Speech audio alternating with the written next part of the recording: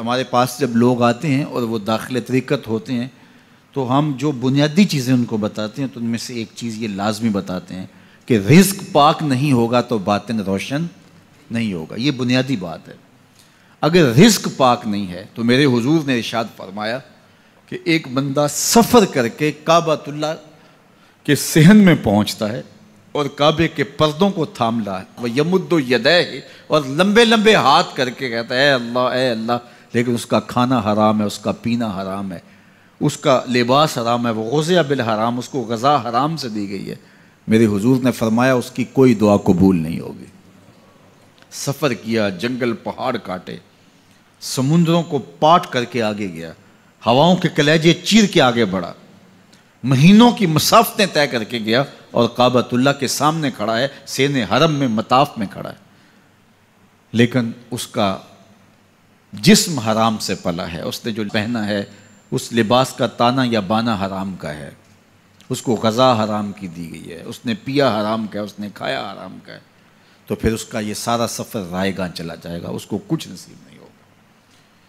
تو سب سے پہلی شرط اس عنوان سے عقل حلال ہے۔ اس کے بعد پھر صدق مقال ہے کہ آپ کی زبان جھوٹ نہ بولے۔ جب کوئی شخص جھوٹ بولتا ہے، روحانیات تو دور کی بات ہے، اللہ کے فرشتے اس سے ایک میل دور ہٹ جاتے ہیں۔ جب کوئی شخص جھوٹ بولتا ہے تو حدیث پاک میں آتا ہے، اس کے منہ سے ایک خاص قسم کی بدبو نکلتی ہے۔ اس بدبو کو ہم نہیں سونگ پاتے، لیکن فرشتے سونگ لیتے ہیں۔ چونکہ فرشتے انتہائی حساس مخلوق ہے اور وہ جھوٹ کی وجہ سے نکلنے والی بدبو کو سونگتے ہیں۔ اللہ نے حضرت امام اعظم، امام ابو حنیفہ رضی اللہ تعالیٰ عنہ کو یہ بصیرت عطا کی تھی اور یہ باطنی نظر بخشی تھی کہ جب کوئی شخص وضو کرتا تھا تو اس کے وضو کے پانی سے پہچان لیتے تھے کہ یہ کس گناہ کا مجرم ہے۔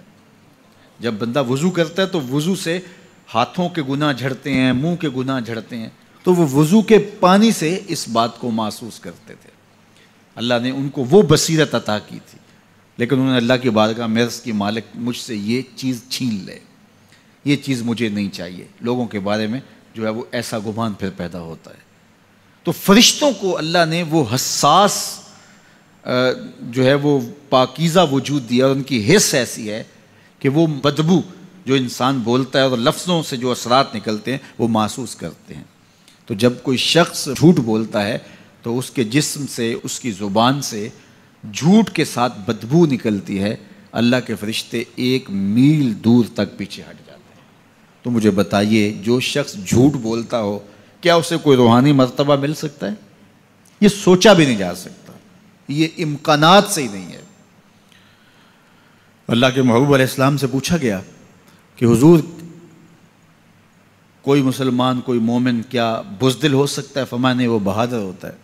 لیکن ہو سکتا ہے کبھی اس سے بزدلی بھی سرسد ہو جائے۔ انسانی کمزوری ہے۔ کبھی انسان بہت طاقت میں ہوتا ہے اور کبھی انسان کمزور بھی پڑ جاتا ہے۔ فرمایا ہو سکتا ہے کبھی اس سے ہو بھی جائے۔ پھر پوچھا کہ بخل کر سکتا ہے۔ فرمایا نہیں، مومن سخی ہوتا ہے۔ لیکن ہو سکتا ہے کبھی اس سے بخل بھی ہو جائے۔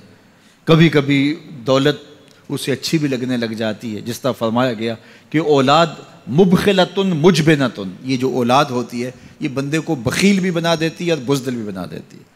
جب اولاد نہیں ہوتی تو بندہ سخی بھی ہوتا ہے اور بندہ جو ہے وہ مشکل حالات میں بھی کود جاتا ہے۔ لیکن جب اولاد ہوتی ہے تو پھر مشکل حالات میں کودنے سے پہلے سوچتا ہے، میرے بچے ہیں، یتیم ہو جائیں گے۔ اس کو یہ خیال آتا ہے۔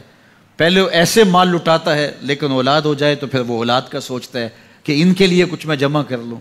تو اولاد فرمایا میرے حضور نے کہ مبخلا و مجبنا یہ بخیل بھی کر دیتی ہے اور یہ کمزور اور بزدل بھی بنا دیتی ہے۔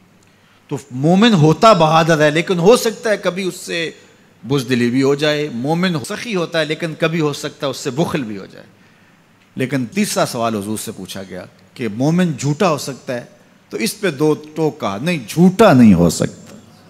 یہ نہیں ہو سکتا کہ مومن ہو جھوٹا ہو، وہ سچ بولنے والا ہوگا۔